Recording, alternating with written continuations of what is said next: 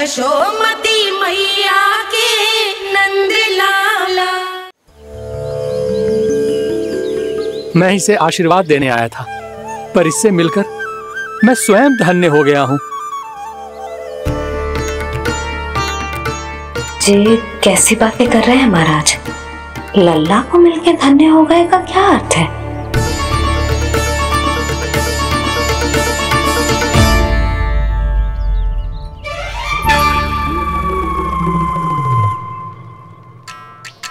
तो फिर तो आप महाराज इसे आशीर्वाद दो कि जे बहुत तेजस्वी बने और इसे किसी की भी बुरी दृष्टि कभी ना लगे।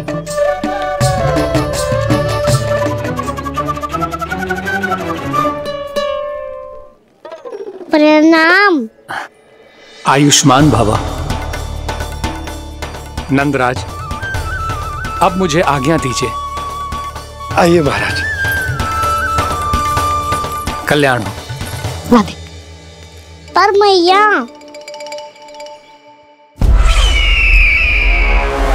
दया करो। महाराज दया करो महाराज दया करो दया करो महाराज। बस बस करो। कंस इतना भी निर्दयी नहीं है। तुम सब इतना व्याकुल हो रहे हो तो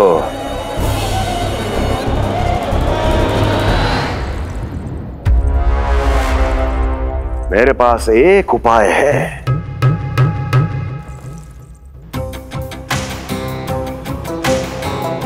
मैं तुम्हें इस निशुल्क व्यापार की विवशता से मुक्त कर सकता यदि गोकुल राज नंद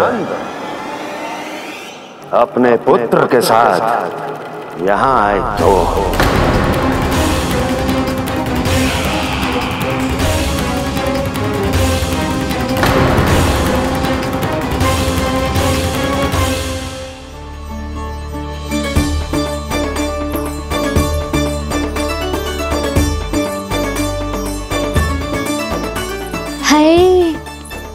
बलिहारी जाऊँ मैं? हाँ। ऐसे ही मुड़ मुड़ के देख तो रहे काना कान्हा मार्ग पे चलते समय पीछे ना देखा जाता है। सीधा देख। वो भी उनकी ओर जो तुझ पर उल्टा सीधा आरोप लगाती है। चल सीधा। एक बार ठीक से देखने तो दो। क्यों भला? क्योंकि हमारा चित्त बसतो है जशोदा तेरे लल्ला में। क्योंकि आपके लल्ला ने हमारा चित्त चुरा लियो है जसोदा जी। वो माखन चोर तो पहले ही था। अब चित चोर भी बन गो नाना भाभी जो ये बोलना चाह रही थी कि कान्हा बिल्कुल आप पर गयो है। जैसे ही चित को मोह लेने वाली मुस्कुराहट आपकी है ना वैसे ही उसकी भी है। हाँ हाँ जैसे गहरी सुंदर सुंदर आँखें आपकी हैं वैसे ही उसकी भी है। कस्तूरी सावित्री अब चाहे कितने भी प्रयास क्यों ना कर लो मुझे मूर्ख ना बना सकती। और जे माखन लगाने की तो आवश्यकता बिल्कुल ना है तो क्या आप मिलने दोगी हमें कान्हा से?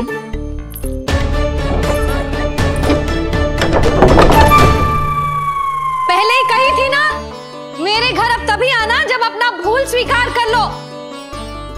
कान्हा से मिलने के लिए कोई ना कोई उपाय तो निकालना ही पड़ेगा। एक उपाय है। हाँ? भाभी चाची हम सब ना यहीं बैठ जाते हैं। कान्हा कभी ना कभी तो आवेगा ही। हाँ? मिलने देने का तो प्रश्न ही ना बनता। पहले आरोप लगाती है फिर प्रशंसा के पर्वत पे चढ़ाती है। इन्हें लग तो है जसोदा भोली है मान जाएगी। इस बार बिल्कुल ना मानने वाली मैं। पहले मेरे रामू के पीछे पड़ी रहती थी और अब मेरे कान्हा के पीछे पड़ी रहती है।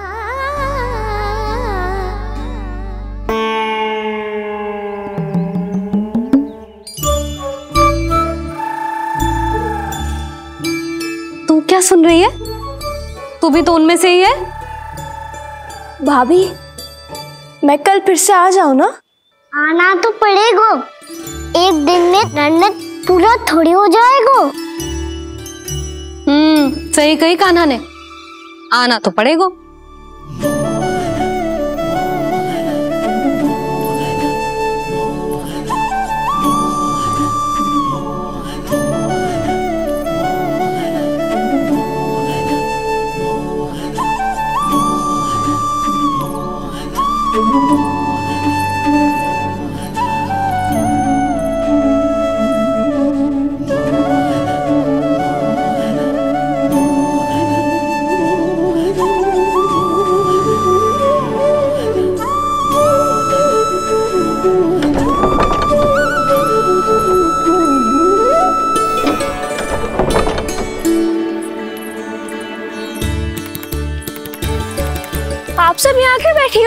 अब तेरी तरह हर कोई चापलूसी तो ना करतो है।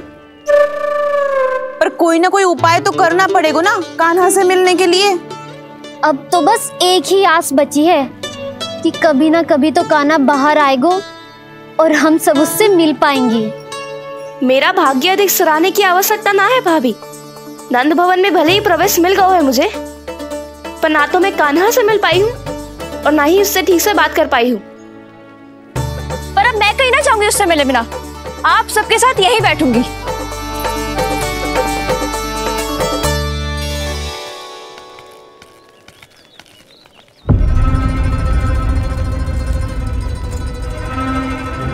नंदराज,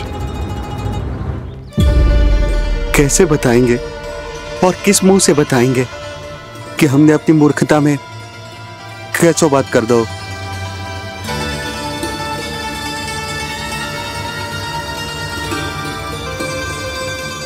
भानु बजरंगी क्या हुआ? आप सब लोग इतने चिंतित क्यों हैं? आओ मथुरा में कछु गड़बड़ हुई है का? चिंता मती करो आप लोग। जो भी कुछ हुआ है हम सब मिलकर संभाल लेंगे। आप सब लोग थके हुए हैं तनिक विश्राम कर लो। उसके बाद हम बात करते हैं। चलो आओ।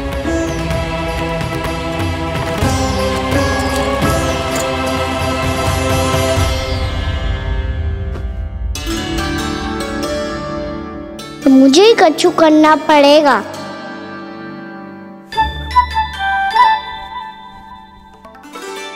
भैया मैं खेलने जाऊँ?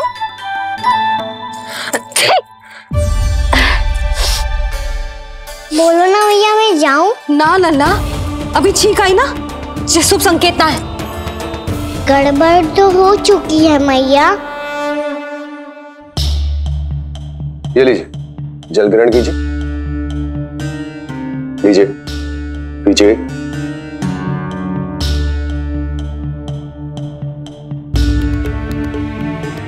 भानु, थक गए होगे। जल पी लो।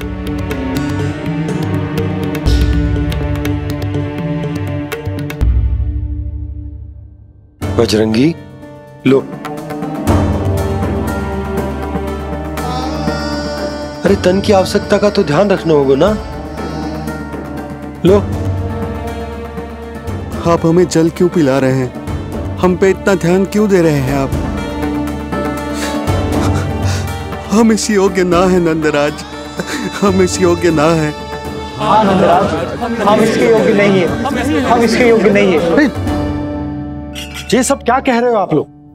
हमने आपकी बात ना सुनी नंदराज।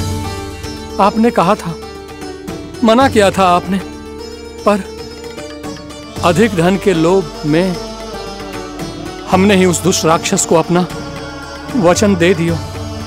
पर मथुरा जाके पता चलो कि ये सारा षड्यंत्र उस व्यापारी का ना था।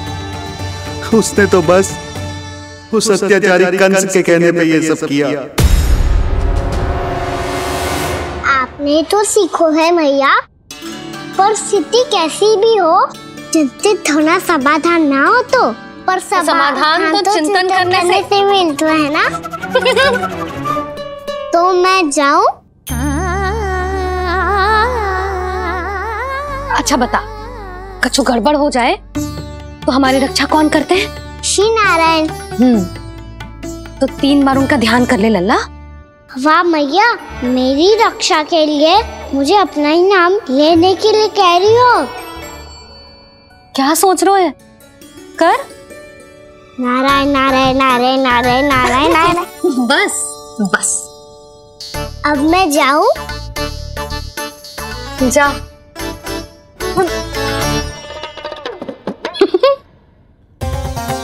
इसका अर्थ है कि जे कोई साधारण छल न था जे सोची समझी योजना थी आप सभी लोगों को फंसाने की। इसका अर्थ ये है कि इसके पीछे कोई ना कोई कारण अवश्य हो। कारण को तो पतो ना है। पर कंस ने हम सबको मुक्त करने को एक प्रस्ताव रखो है। प्रस्ताव? कैसो प्रस्ताव भानु? बताओ। भानु यदि तुम ना बताओगे तो तो मैं सहायता कैसे करूँगा? उसने कहा है कि वो हमारे निशुल्क व्यापार की व्यवस्था को समाप्त कर देगो। यदि विनती करने के लिए आप उसके दरबार में जाओ तो। वो भी। वो भी? वो भी क्या? वो भी कानों को साथ लेके। वो भी कानों को साथ लेके। वो भी कानों को साथ लेके।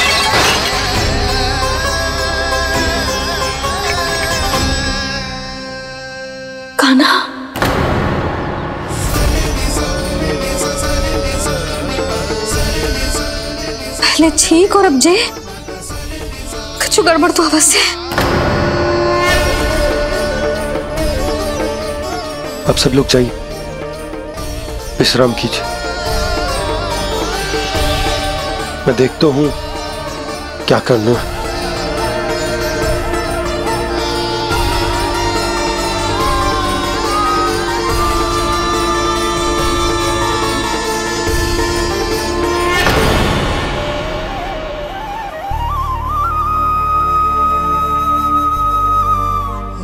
भैया। मैंने इन सबसे कह तो दी कि कि मैं देखता हूँ क्या करना पर मैं क्या करूँगा एक और मेरी प्रजा है, दूसरी ओर मेरा लल्ला। मैं लल्ला को कैसे लेकर जाऊँ मैं उस उस अत्याचारी कंस के पास? जिसने रानी देवी के ऊपर इतने अत्याचार किए। जिसने अपने बहन के बच्चों तक को नहीं छोड़ा, वो वो तो अत्याचारी नहीं नंद राक्षस है, राक्षस। और ऐसे राक्षस के पास अपने काना को ले जाना तो दूर। हम उसकी परछाई तक अपने काना पर नहीं पड़ने देंगे। और हमारे पास उपाय ही क्या है भैया? गोपियों ने कितने सपने संजोए होंगे अपने सुनहरे भविष्य के लिए। और जब उन्हें सच्चाई का पता चलेगा तो क्या बीतेगी उनके हृदय पर? आज भानु मथुरा से धन लेके लौटेगो तो मैं सीधा हाट जाऊँगी। और जसोदा के लिए एक महँगा सा उपहार लूँगी। कछ लाभ ना होगो। मैं भी कान्हा के लिए लूँगी एक विशेष उपहार और इस बार उसे भी मैं माखन के साथ रख दूँगी ताकि कान्हा लोभ में आके बार बार मेरे घर आवेगो। दो दिन से वो किसी के घर ना आयो है? तेरे घर आएगो दोबारा? जब देखो तब कोई ना कोई प्रश्न करते रहते है हमसे। पर इस बार दिखेगो तो हमारे प्रश्नों का उत्तर देना पड़ेगा उसे।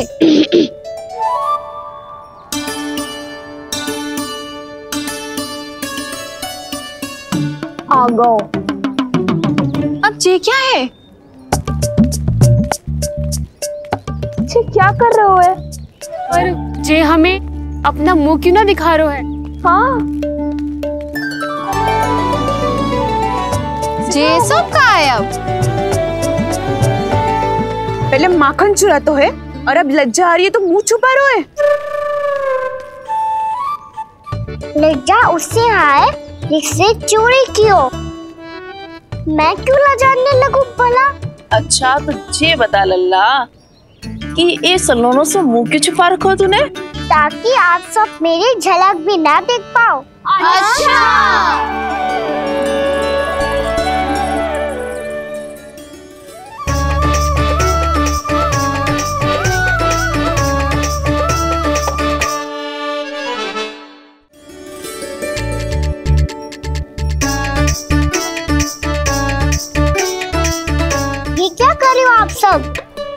है तो आँखों में आँखें डालकर बात कर।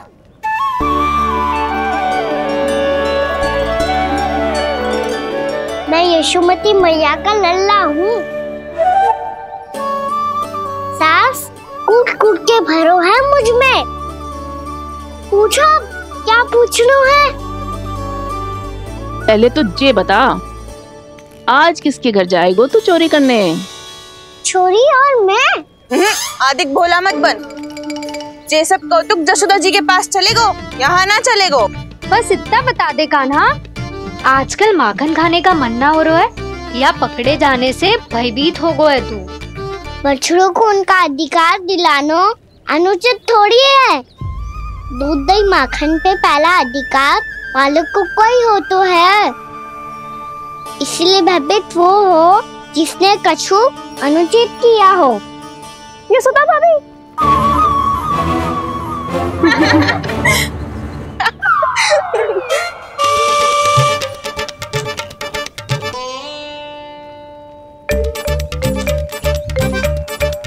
अब क्यों भयभीत हो गो?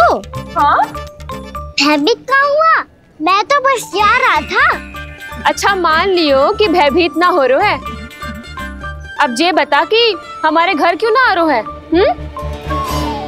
हमने जसोदा भाभी से तेरी बात बता दी। इसलिए क्रोधित है क्या? मैं मटकी ऊपर लटकाती हूँ इसलिए ना आयो। मेरे यहाँ का माखन अच्छा ना लगो क्या? किसी के यहाँ माखन बच्चों ही कहाँ है? जो आऊँ? सारा का सारा तो दे दियो उस व्यापारी को। अब भूल की है तो फिर मिलेगो ही ना। वाह लल्ला चोरी तू करे और भूल हमारी? ना ना अब बुरा मानने या चिंता करने से कछु लाभ ना होगा हम कहाँ बुरा मान रहे हैं? और चिंता भी ना कर रहे हैं। जब यहाँ आवाज़ हो जाए वहाँ भूल हुई है तो उसे मान के सीख लेनी चाहिए। सही है लल्ला। एक तो माखन चुरा तो है ऊपर से ज्ञान भी दे तो है। मैं तो बस वही बता रहा था चाची। जो मैया ने सिखायो है। क्या? और क्या क्या सिखायो तेरी मैया ने? यही कि परिस्थिति कैसी भी हो चिंतित होना समाधान ना हो तो। समाधान तो चिंतन करने से ही मिलता है। अरे अरे अरे। जब माखन छोड़ दो हमें उपदेश देके भागो। वो देखो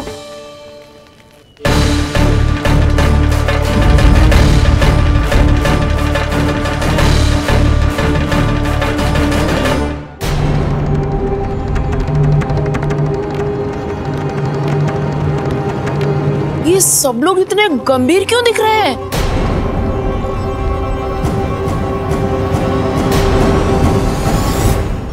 जैसी ये बात गोपियों को पता चलेगी बहू तक ये बात पहुँचने में अधिक समय न लगेगा। और नारायण ही जाने, उसके बाद बहू के मन पर क्या बीतेगी? कहीं वो कहीं वो फिर से खड़े निर्णय न ले ले। बड़ा निर्णय तो आज मुझे लेना होगा भैया। मुझे जो निर्धारित करना होगा कि यशोदा को कंस के बारे में क्या क्या बताना है और कैसे बताना है। और मुझे ये भी सोचना होगा कि मुझे क्या करना है। बाबा होने का दायित्व निभाकर अपने लल्ला की रक्षा करूँ या या राजा होने का कर्तव्य निभाकर अपनी प्रजा के हित को अधिक महत्व दूँ? नारायण ही जाने के इस दुविधा का हल कैसे निकले अब तो वो ही बचा सकते हैं भैया।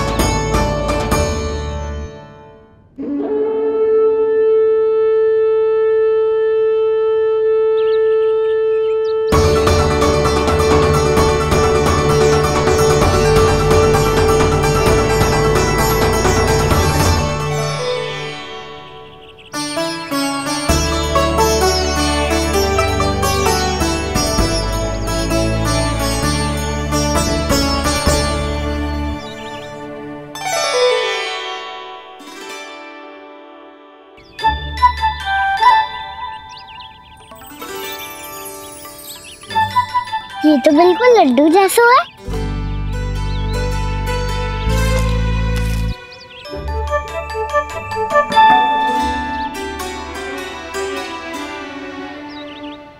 और ये गुड़ की डली।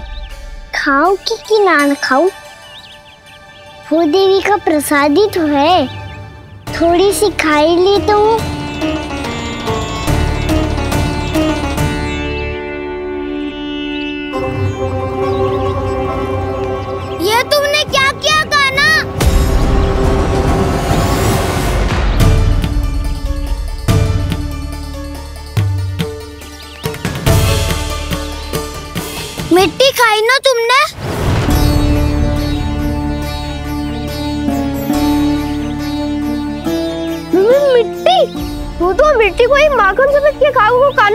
इतनी भूख लगी थी तो किसी के यहाँ जाके माखन खा लेता।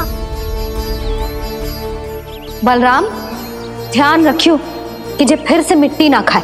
यदि तूने फिर से मिट्टी खाई ना तो तेरे दाऊ मुझे सब बता देंगे। चल छोटी माँ के पास। दाऊ हम तो एक दूसरे के साथी है ना? ना इसमें मैं तुम्हारा साथ नहीं दूँगा। छोटी माँ को वचन दिया था ना मैंने कि यदि तूने फिर से मिट्टी खाई तो मैं अवश्य बताऊँगा। बलराम कहा की चुगली करेगा तू? हमारी अख्तियार टूट जाएगी। बस कोई बीच में नहीं बोलेगा आज।